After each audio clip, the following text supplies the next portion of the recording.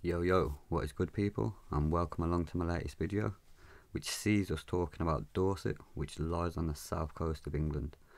Now it is well known for its array of geology and makes up a big part of the Jurassic coastline.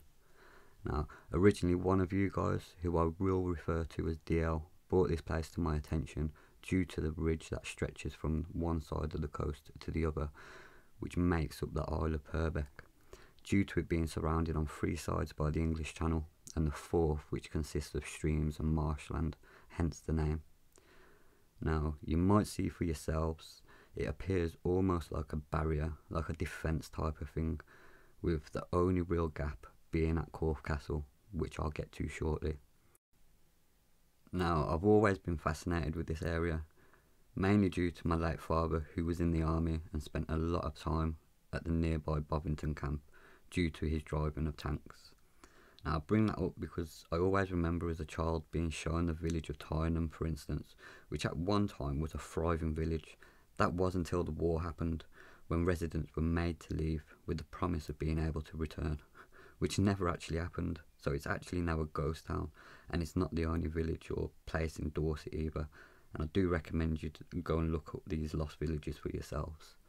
Now, anyway, I mentioned Bovington conveniently a tank training area, which has me wondering what might have been there in the past. What have unknown tank drivers blown up and destroyed over the years? Unfortunately, I can't ask him now, but if anybody out there has been to Bovington or knows anyone that's trained at Bovington, get in touch. So anyway, let's move on and take a look at the area on LiDAR and then we'll reference it on one of the old OS maps as well, just to see if anything does come up.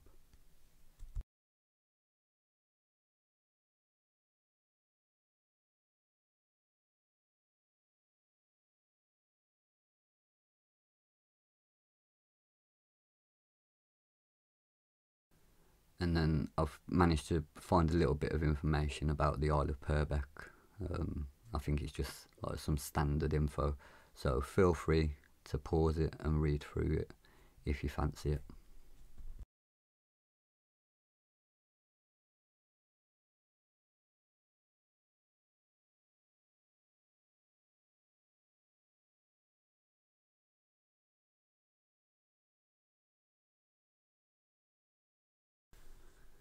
Now, as I've mentioned, the only real prominent gap in this ridge is found at Corfe Castle, which is the main focus of today's video, and it's yet another property belonging to National Trust. And just like the majority of places that they own, this was gifted to them. It was gifted to them by a fella by the name of Ralph Bankes, who also gifted quite a small house called Kingston Lacy and its surrounding estate in his will when he died, obviously. Uh, he was survived by two children, to which he left them £50,000 each. Now, this was only in the 1980s, so it wasn't that long ago. So let me get this straight. He left his own flesh and blood, 50 grand, while donating all of this. Now, did he hate his children that much? Or maybe there's another reason for National Trust and the like to take over these historical places and then charge us extortionate fees to go and see them for ourselves. Now this caught my interest straight away. It's not in the actual castle itself, but further down, and it appears to be an old bricked archway of some sorts, which doesn't actually go anywhere now, but it does have signs that it's been destroyed, with just this little small piece remaining. Now I'm not sure what it is, or what it was, but it's not the first, and it won't be the last arch that I'll come across like this. So yeah, let's have a look at Corfe Castle, and we'll go through a bit of the history. And now it's said to have probably been a fortification here long before the castle due to its location. But like everything else with history, nobody actually knows. It was supposedly built for William the Conqueror in 1086, but it took 199 years for the building to be complete. Funny that.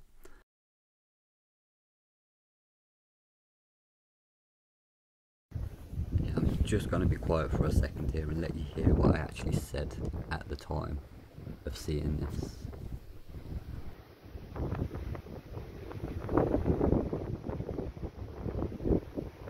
I wish it was windy.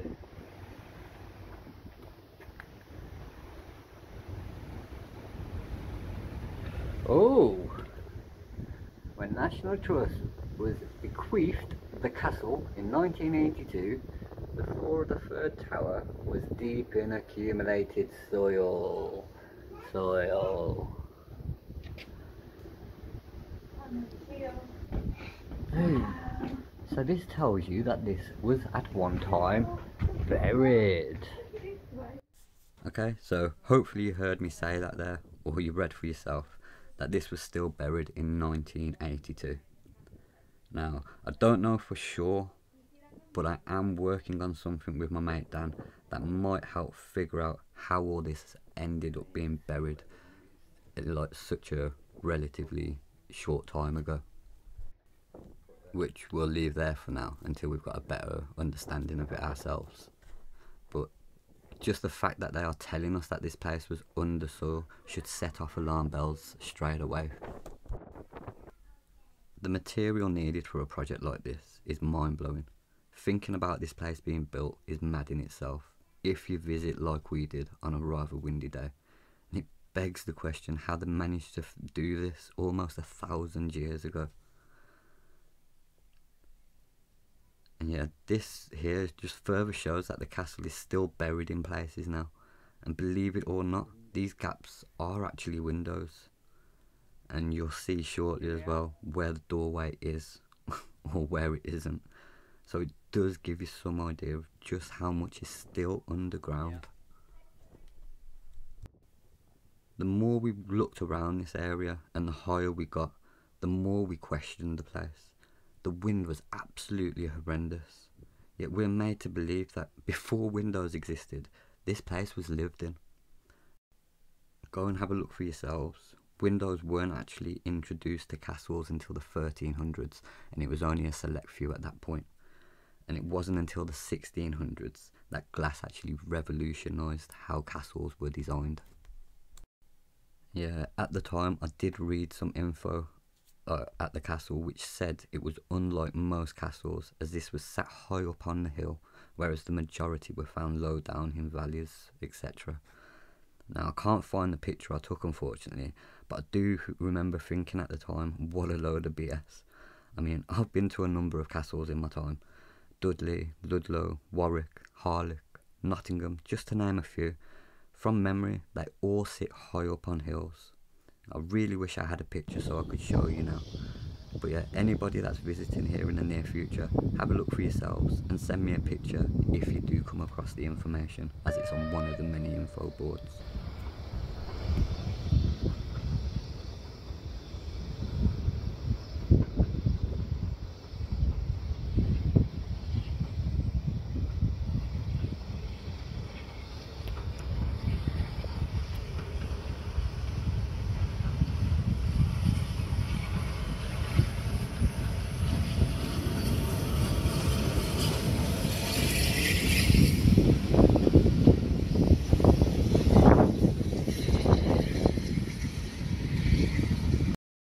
Stay tuned for more.